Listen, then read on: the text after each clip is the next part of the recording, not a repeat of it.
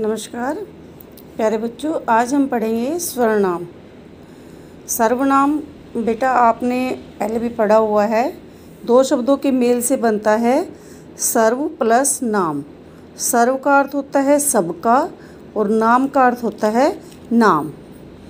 तो स्वरनाम का शाब्दिक अर्थ हुआ सबका नाम। समझ में आ गई? जैसे देखो हम किसी भी वस्तु का या किसी भी प्राणी का या किसी भी का भी हम बार बार में नाम लेते हैं। जैसे आपकी पुस्तक में भी बताया है कि लोमड़ी ने अंगूर की बेल देखी, लोमड़ी अंगूर देख ललचाई, लोमड़ी ने छलांग लगाई, लोमड़ी अंगूरों तक न पहुँच पाई। लोमड़ी यह कहती हुई चल पड़ी कि अंगूर खट्टे हैं। अब आपने देखा बेटा यहाँ कि लोमड़ी लोमड़ी बार बार में हर लाइन पंक्ति में आ रहा है। हर वाक्य में, शुरुआत में हम लोमड़ी शब्द का प्रयोग कर रहे हैं। ये पढ़ने में भी अच्छा नहीं लगता और ना ही सुनने वाले को भी अच्छा लगता है। तो हम ये संज्ञा शब्द है लोमड़ी। इस संज्ञा शब्द को इस तरह बार बार दोहराने की बजाय अगर हम इस संज्ञा शब्द के स्थान पर स्वर्णाम शब्दों का प्रयोग करते हैं सर्वनाम शब्दों का प्रयोग करते हैं तो वो पढ़ने वाले को भी अच्छा लगेगा और सुनने में भी अच्छा होगा।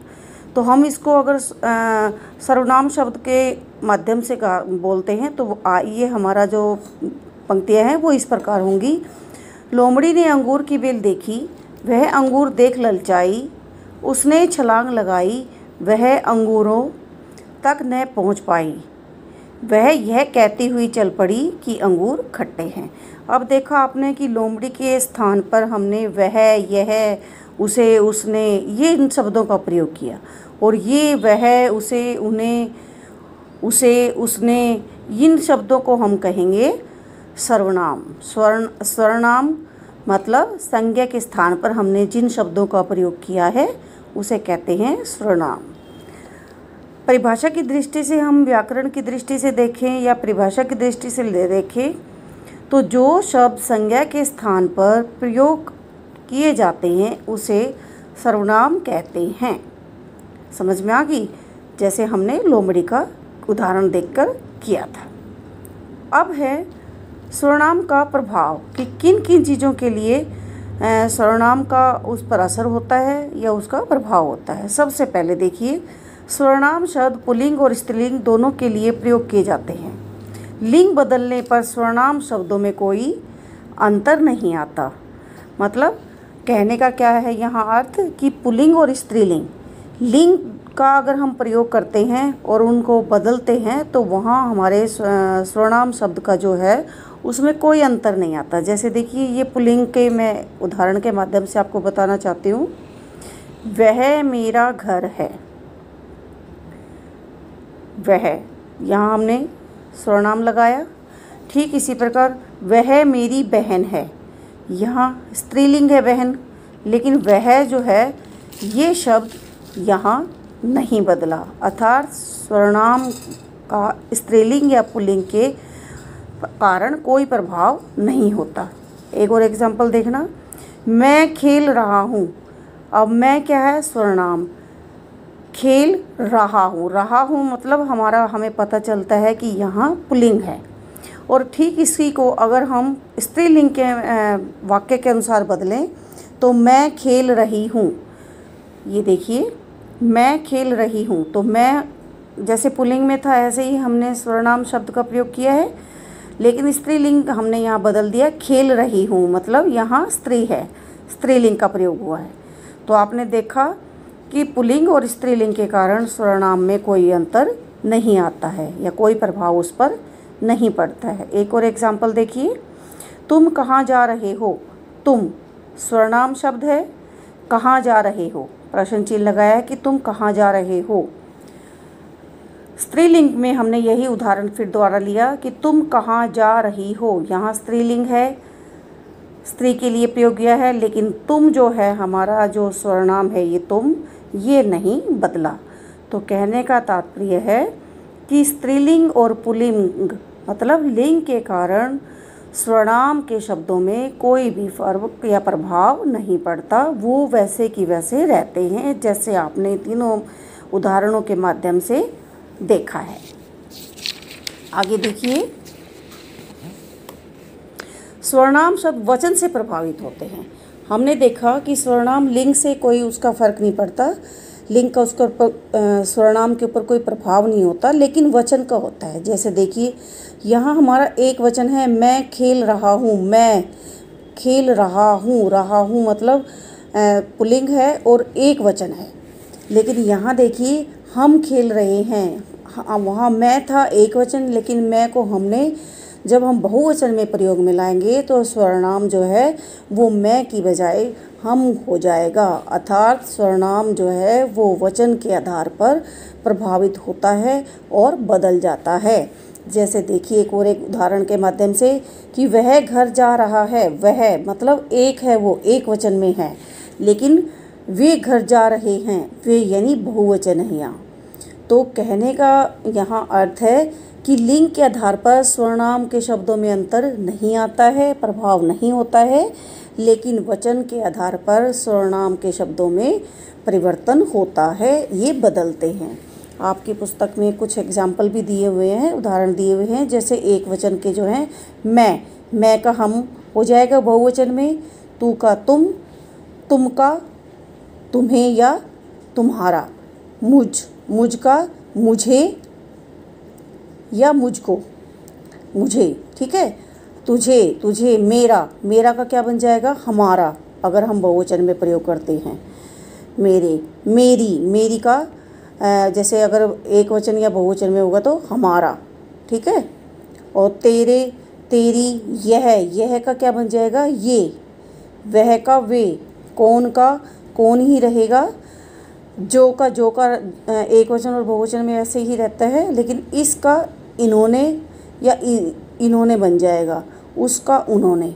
तो इस तरह कहने का तात्पर्य है कि हमारा स्वर्णाम शब्दों में लिंग का पर कोई प्रभाव नहीं पड़ता, लेकिन जब हम वचन का प्रयोग करते हैं तो उस वाक्य में स्वर्णाम शब्द में बदलाव आता है।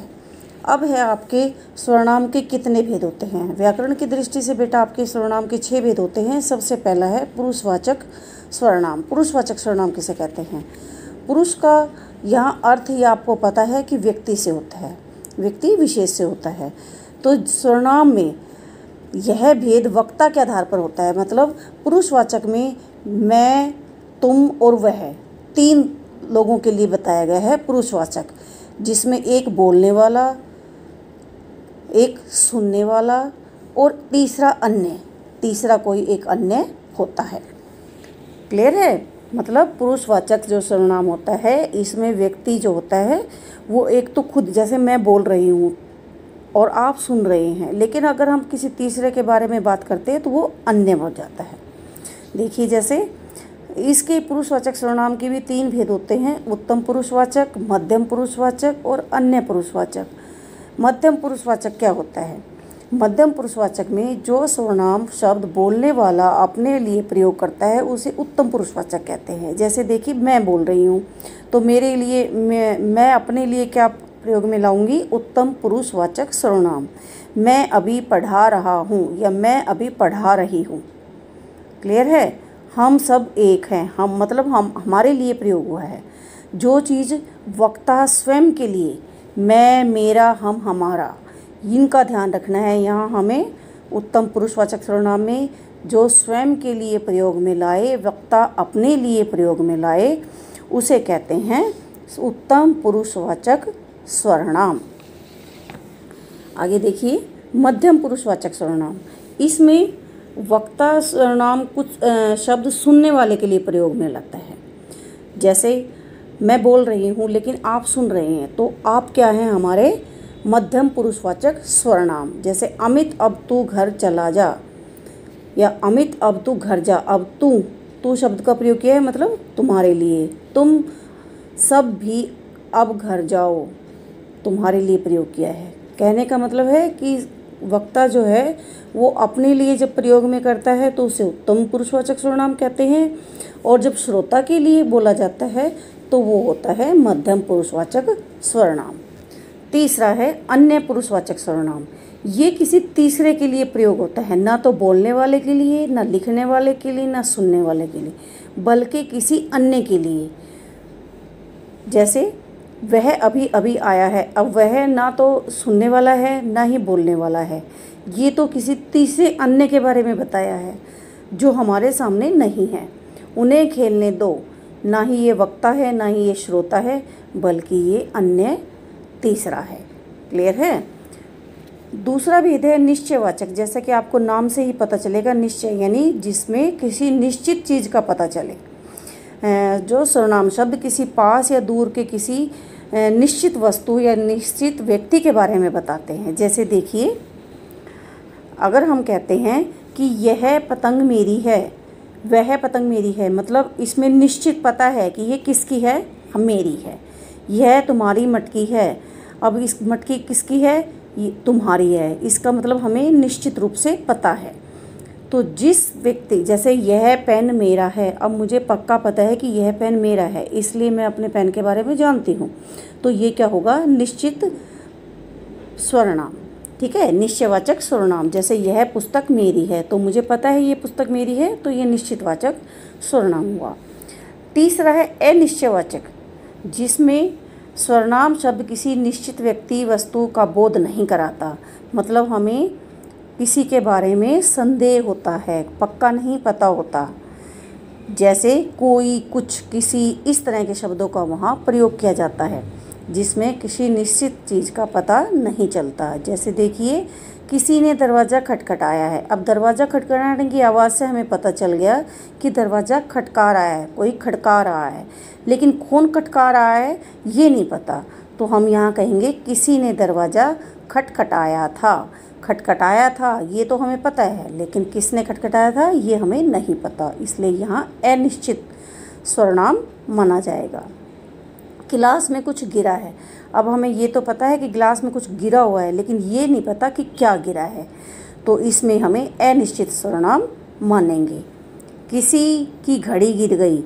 अब हमें घड़ी गिरी हुई मिली है, दिख रही है, लेकिन हमें ये नहीं पता कि वो किसकी है।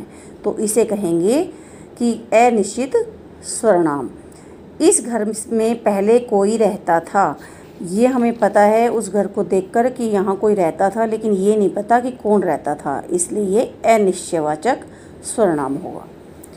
अगला है प्रश्नवाचक स्वरनाम देखो बेटा, आपको पता है कि प्रश्नवाचक आपको नाम से ही पता चल जाएगा कि किस, जिस स्वरनाम के वाक्य के अंत में प्रश्न चिन्ह लगा हो। तो उसे कहते हैं प्रश्नवाचक स्वरनाम या फिर जिसमें कब, क्यों, कहाँ, किसे, इस तरह के प्रश्न पूछे जाएँ। जैसे देखिए, बाहर कौन खड़ा है? अब इसमें प्रश्न किया गया है, कौन? बोलकर।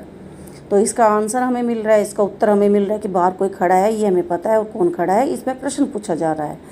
कल क्या टूटा था? प्रश्न पूछा गया है। प्रश्न चिन्ह लगा हुआ है और इसमें प्रश्न पूछा गया है। आप किसे बुला रहे हैं? प्रश्न पूछा गया है, किसे के कह, क्या हो रहा है, कब, क्यों, कहाँ, किसे, किस लिए? इन शब्दों का प्रयोग जिन वाक्यों में किया जाता है, उसे कहते हैं प्रश्नवाचक स्वर्णाम। आगे देखिए। संबंधवाचक, आपको पता है कि जो शब्द वाक्य में आए, दूसरे स्वर्णाम के साथ संबंध बताता है।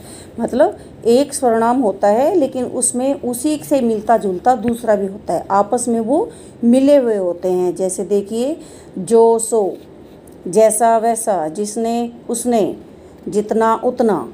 इस तरह के, जैसे जिस जिस, जैसी करनी वैसी भरनी, जैसा बोया वैसा काटा। जो करेगा सो, भरेगा, जिसकी लाठी उसकी भैंस। आपने जिसे पढ़ाया, उसे ही सफलता मिली। मतलब ये एक स्वर्णाम का दूसरे स्वर्णाम के साथ आपस में संबंध होता है। तो उसे कहते हैं संबंधवाचक स्वर्णाम। क्लियर है? जिसकी लाठी, उसकी भैंस, जैसे को तैसा। अगला है हमारा निजवाचक स्वर्णाम। निज का अर्थ ही बेटा होता है स्वयं। जो स्वर्णाम शब्द स्वयं के लिए प्रयोग होता है। उसे निजवाचक सर्वनाम कहते हैं। जैसे अपना, अपनी, अपने मतलब स्वयं के लिए हम कोई भी कार्य करते हैं जो खुद के लिए करते हैं। किसी भी कार्य के लिए या किसी भी काम के लिए, जिस वाक्य में हमें स्वयं के बारे में ही किया जाए या स्वयं के लिए किया जाए। जैसे देखिए, हम अपने कर्तव्यों का पालन करेंगे। हम अपने मतलब हम तो बहुवचन है, लेकिन अपने लिए मतलब खुद के लिए। हम देश के लिए अपनी जान लुटा देंगे। हमारी खुद की जान है। हम किसी दूसरे की जान देश के लिए नहीं लुटा सकते। हम खुद की जान लुटा सकते हैं देश की रक्षा के लिए। तो हमने ये काम किसके लिए किया? देश के लिए किया लेकिन किसका किसके माध्यम से किया? अपने माध्यम से। तो जिस सर्वनाम में अपने या स्वयं के बारे में आता है उसे कहते हैं निजवाचक स्वरनाम जैसे मैं अपना का अप, मैं अपने आप खाना बना लूँगी, या मैंने अपना गृह कार्य स्वयं कर लिया। इस तरह के वाक्य को कहते हैं, निजवाचक स्वरनाम जिसमें स्वयं के बारे में बताया जाए। क्लियर है? तो आज हमने स्वरनाम पाठ पढ़ लिया है। आपको एक बार दोबारा से पूरे लेसन का रिवीजन करवा देती हूँ। जैसे हमने जो मेन चीज़ें करी थी कि स्वरनाम का शाब्दिक अर्थ सबका नाम। हमने पढ़ा ही था, सर्व यानी सबका नाम का नाम होता है। तो शाब्दिक अर्थ इसका होता है, सबका नाम। अगर परीक्षा में प्रश्न आ जाता है कि स्वरनाम का शाब्दिक अर्थ बताइए तो आप क्या लिखोगे? स्वरनाम का शाब्दिक अर्थ होता है, सबका नाम। स्वरनाम शब्दों का प्रयोग संज्ञा के स्थान पर किया जाता है। जैसे मैंने आपको लोमड़ी के उदाहरण के माध्यम से बताया है। कि बार बार यदि हम एक ही शब्द का दोबारा दोबारा से दोहराते हैं, किसी भी शब्द की बार बार आवर्ती होती है तो वो शब्द कहने और सुनने वालों को अच्छा नहीं लगता। इसलिए हम उन संज्ञा शब्दों के स्थान पर, मैं, तुम, वहाँ, उसने, किसका, उसका, इस तरह के शब्दों का प्रयोग करते हैं और ये शब्द होते हैं स्वरनाम स्वरनाम की छह भेद होते हैं, पुरुषवाचक, निश्चयवाचक, अनिश्चयवाचक, प्रश्नवाचक, संबंधवाचक और निजवाचक। स्वरनाम का कहाँ प्रभाव पड़ता है? सब, लिंग बदलने में स्वर्णाम का रूप नहीं बदलता। मतलब जब हम वाक्य में लिंग परिवर्तन करते हैं, कि स्त्रीलिंग से पुलिंग या पुलिंग से स्त्रीलिंग करते हैं तो हम जो सर्वनाम का शब्द का प्रयोग करते हैं, वो वैसे की वैसे रहता है। उसका पुलिंग, लिंग के हिसाब से, के अनुसार बदलता नहीं है। ठीक है? वचन के हिसाब से, वचन जब हमारा बदलता है, एक वचन होता है तो स्वरनाम अलग होता है, लेकिन जब वही वाक्य में हम बहुवचन का प्रयोग करते हैं तो स्वरनाम अलग हो जाता है। जैसे मैं होता है कि मैं कार्य कर रहा हूँ, एक वचन है, लेकिन अगर हम वहीं बहुवचन लगाएँगे कि कार्य कर रहे हैं तो मैं के स्थान पर आ जाएगा हम, कि हम कार्य कर रहे हैं। तो इस तरह ये सर्वनाम बदलते हैं। सबसे सीधी सी बात है, आपको दो चार बातें याद रखनी है कि सर्वनाम का शाब्दिक अर्थ शब्द का नाम होता है। ये संज्ञा के स्थान पर प्रयोग में लाया जाता है और इसके छह भेद होते हैं, पुरुषवाचक जिसमें श्रोता, वक्ता और अन्य। निश्चयवाचक में जिसमें किसी भी चीज़ के बारे में निश्चित रूप से पता हो। अनिश्चित जिसमें हमें संदेह होता है, कोई, कहाँ, कुछ, इस तरह के शब्दों का प्रयोग होता है। और प्रश्नवाचक में आपको पता ही है कि प्रश्न वाक्य के अंत में प्रश्न चिन्ह लगा होता है और कब, क्यों, कहाँ, किसने, किसे इस तरह के शब्दों का प्रयोग किया जाता है। संबंधवाचक में एक स्वर्णाम का दूसरे स्वर्णाम के साथ संबंध होता है। जैसे जैसे को तैसा, जैसी करनी, वैसी भरनी, जिसकी लाठी, उसकी भैंस मतलब एक स्वर्णाम दूसरे स्वर्णाम से, के साथ उसका मिल, मिलता जुलता है, वो एक दूसरे के साथ उसका संबंध होता है। निजवाचक जिसमें निज का अर्थ स्वयं होता है और वो स्वयं के बारे में ही वाक्य में बताया जाता है। और लिंग से स्वरनाम का रूप नहीं बदलता है, जैसा आपने पढ़ा है अभी, और वचन के अनुसार लिंग स्वरनाम शब्द का रूप में बदलाव आता है। एक वचन में अलग से हम प्रयोग करते हैं, लेकिन जब बहुवचन आता है तो स्वरनाम का रूप बदल जाता है। ठीक है बेटा, इसको ध्यान से पढ़ना और फिर हम आगे का काम करेंगे। धन्यवाद।